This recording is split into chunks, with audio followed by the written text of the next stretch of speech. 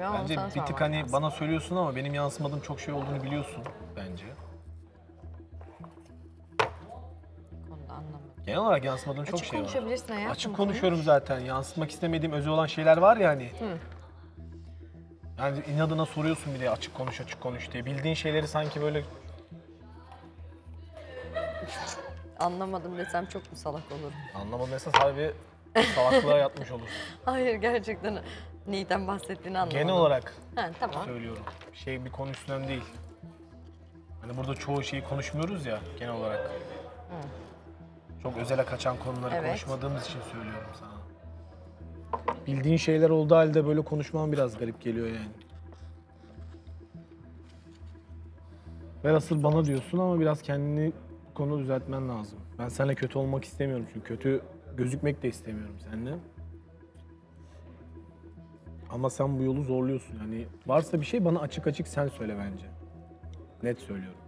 Bak bu olduğu için demiyorum. Varsa diyorum. Tamam işte ben de diyorum ki sana Sen de şunu yok anlatmaya diyorsun ama yok çalışıyorum. dediğin sırada da varmış Varsa gibi davranıyorsun. İşte sürekli kuşku duyuyorsun. Bu Çünkü çok ben can böyleyim. sıkıcı. Ben böyleyim. Ama Kuşku duyacağın bunu şeyler yaşamak yapma. zorundasın. Yapamam Kuşku sen duyacağım değiştir şey kendini. yapmam Ey ki. attığın tweet Ben kuşku sana- duyuruyor. Ya nasıl kuşku, Kuşku duyuruyorum duyuruyor. ben? Bildiğin kuşku duyuruyor yani bu Ya, kadar basit. Atıyorum sana attım. Atma. Tamam mı? Dur diyelim ki sana attım. Sinirlendim attım ve sana da sorduğun zaman dedim ki evet sana attım dedim. Diyelim ki. Bunlar varsayım. Söylüyorum bir saniye. Ee, böyle olduğunda bile nasıl başka bir şeyi şu- kuşku duyabilirsin? Şöyle olması gerekmiyor mu? Sana verdiğim değer beni üzmüşsün.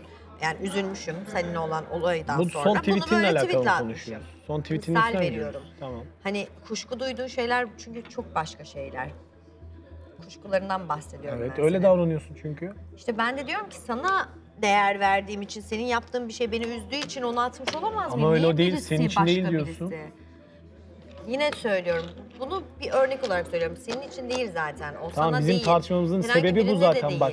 Bunu yanlış Ama yerden bak anlıyorsun. ne diyorum herhangi biri bir birey olarak Fark düşünme bunu bir etmiyor. şey Konu olaya yanlış olay. yerden anlaşılıyor. Ben sana birey olarak sormuyorum zaten sana. O an tartışmanın üstüne onu attığın için bu böyle anlaşılıyor diyorum. Senin anlayamadığın konu bana da anlatıp da benim anlamadığımı düşündüğün konu bu.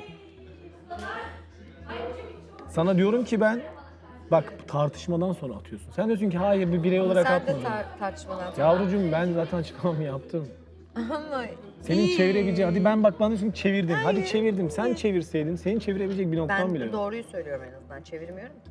Ya neyin doğrusunu söylüyorsun? duygusallık anım vardı. Hepsi birlikte üstüne seninle üzüldüm, kötü oldum, kavga ettik. Ee, bu da fitilledi ve benim yaşadığım şey böyle duygusal o boşluk, duygusal boşluktan bahsediyorum. Bak bu bir ilişkisel anlamda değil. Ben bazen derin düşüncelere dalabiliyorum, başka şeyler düşünebiliyorum. İşte bu derin dair. altında geçmişinle alakalı bir şey Evet, olduğu belli. ama Ve ben de bunu ilişkin için düşünüyorum. İşte Çünkü ilişki ilişkinden kavga ama. ediyorsun. Neyden olduğunu o zaman o an bana açık açık söyleyeceksin. Mesela başka Tamam bana şey. açık açık anlatacaksın o zaman. Şüphe duymamı istemiyorsan Mert bu, bu, bu yüzden böyle oldu diyeceksin. Tamam Mesela sonra bu öyle tweet söylerim. niçin oldu? Hadi. Ya o bir sözdü bu arada. Ben onu kendi kendime Tamam uydurmadım. neden çıktı? Ne düşündün? Aklında ne vardı da onu yazma gereği duydun? Ben bunu sorguluyorum. Çok iyi biliyorsun. Şu an söyleyemeyeceğim bir şeydir büyük ihtimalle. Söyle o zaman. Söyleyememiştim. Konulara takılmıyoruz diye hemen üstü kapalı gidiyor. Sen Mesela? açıkladığını düşünüyorsun ama ben bunun cevabını alamadığım sürece bu başka bir olayda yine karşına çıkacak. Hangi mesela? Bu olay mesela örnek veriyorum bu olay tweet olayı vesaire olayı cart olayı. Bu yarın başka bir şeyden yine patlayacak. Çünkü sen hiçbir zaman doğru bir açıklama yapmıyorsun.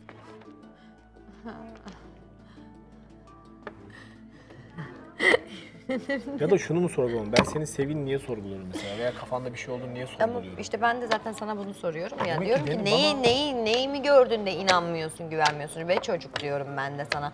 Ne yapmış olabilirim? Ne yaptım? Bu evde ne yapıyorum? Yani dizin dibinden ayrılmıyorum zaten yanına geldiğimde. Oradayken konuşacağım konulara dikkat ediyorum, gireceğim konulara dikkat ediyorum.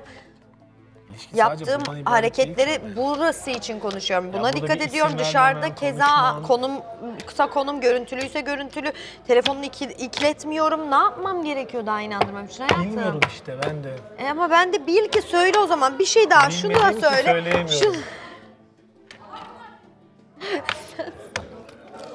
Bak çocuk ısırma.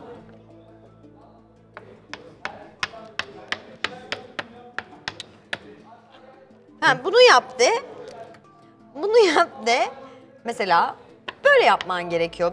Ancak bu beni inandırır de ben de onu yapayım o zaman. Lan ne yaşında yapmam kadınsın, ben lazım? seni nasıl buna Ama yapmam vermem? gerekenleri yapıyorum da inanmıyorsun. Ne yapayım? Yapmıyorsun da inanmıyorum. Ay Mert gerçekten ben çok yoruldum. Yorulmamak için her şeyi anı anına doğrusuyla anlat o zaman bana. Bana bilmediğim konular üstünden konuşup da bir yorum yaptırmamı bekleme veya benim seni anlamamı bekleme. Tamam boş ver yazmak istedim yazdım okey.